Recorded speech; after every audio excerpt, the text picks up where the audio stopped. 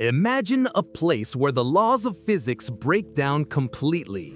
Black holes are cosmic monsters born from the death of massive stars. When a star at least 20 times our sun's mass collapses, it creates a gravitational anomaly so powerful that space and time fold in on themselves. Picture this. You're approaching the event horizon, the boundary of no escape.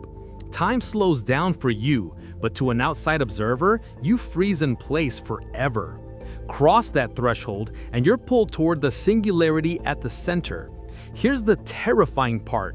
You'd be torn apart atom by atom in a process called spaghettification.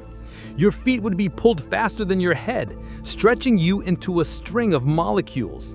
And the supermassive black hole at our galaxy's center?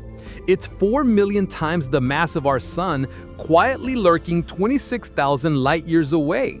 What would you experience inside?